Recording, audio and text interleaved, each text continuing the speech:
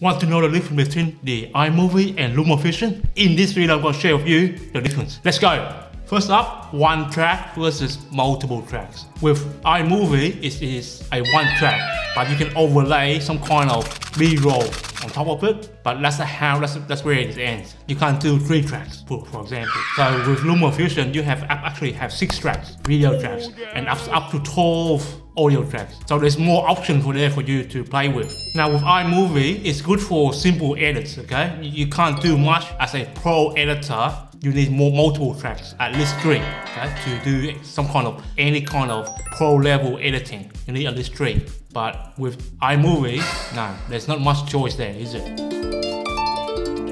The second thing I want to talk about is the edit experience. iMovie is good for when you do build up your timeline. So basically, you drop in your, your, your clip and you color that from there, okay? So drop in, drop in, drop in, drop in, and you build up your timeline over time. But LumaFusion, you do you can do like few few few ways, okay?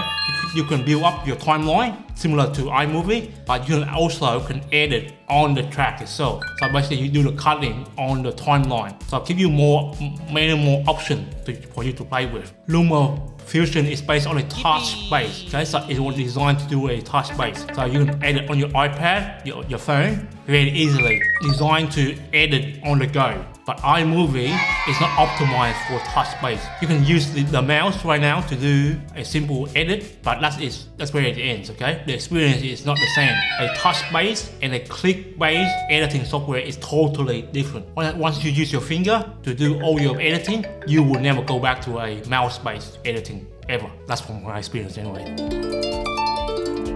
The next thing is video setting. Nowadays, the vertical, okay, vertical video is very popular. How would you change from a horizontal to a vertical? Can you change the settings easily? No. With iMovie, there is once you have your clip, that's it. That's not what you have to play with. But in LumaFusion, you can go from 1080p, 4K to, to whatever settings you like to do. There's more video editing option. So you want to go to from, from horizontal to vertical, you can change easily, easily.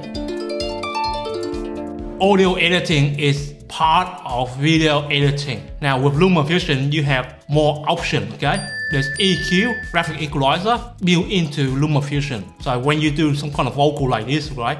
Talking head like this, you can make your, your, your audio, your sounds, your vocal sounds a little bit better than actually is. Now with iMovie, that's it. There's not much you can do. Whatever you capture is that it okay? You have to play with that. But with LumaFusion, there's an EQ. Now, if you are more advanced kind of editor, you can also bring in other apps, other audio plugins for you to play with. And LumaFusion allows you to, to do that. However, iMovie has built-in effects okay? It's free to use, okay? If it's there, it's free for you to use. Apple has licensed that for you already. It is free for you to use, okay? For your editors. You are free to use the sound effects. They have around like 40, 60 something sound effects so you can play with. So that's really helpful uh, for you to try it out. And also you can bring it into LumaFusion, no problem. Have a recorder, recorder, bring it in, no problem. Shh, don't tell anyone.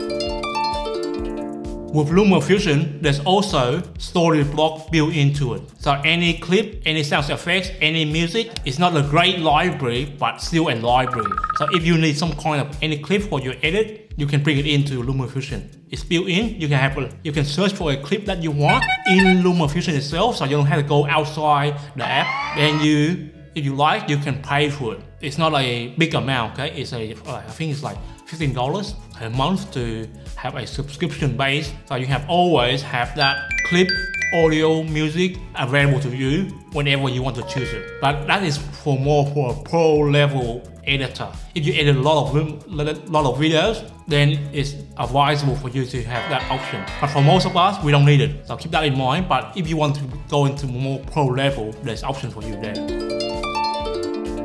Now the last thing I want to talk about is the price. iMovie is free.